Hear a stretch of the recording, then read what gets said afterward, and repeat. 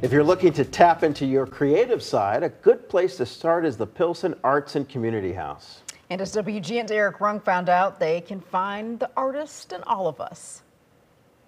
There is a special exhibit going on until October 5th at the Pilsen Arts and Community House. It's a Chicago artist, Montserrat Alsina, who uses almond leaves to create these beautiful pieces of work. What she does is she presses the almond leaf and then works around them to create these beautiful pieces of art here. But this is more than just a gallery. This is also a place where people can learn. It's a classroom. And they have classes for beginners, for anybody that wants to come. We're talking about children as well as adults.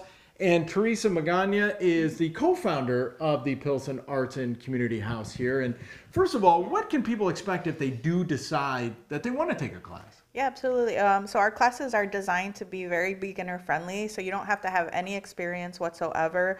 All of our instructors will guide you step by step on the projects that we're doing. So now I can't paint, I can't draw, but is there an artist in everyone? Yeah, there absolutely is. There absolutely is. And sometimes we have to channel that like childhood, like just drawing, sketching, coloring, um, and you end up coming out with something, you know, obviously more mature.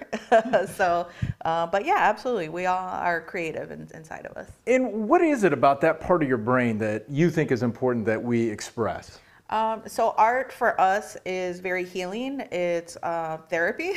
um, art is just one of these things that's very accessible uh, to many of us, and our classes are designed to try to uh, make those. Um, art forms accessible. So we teach you how to just use things that you have at home also um, to create art and just distract you from maybe the regular environment that you're in.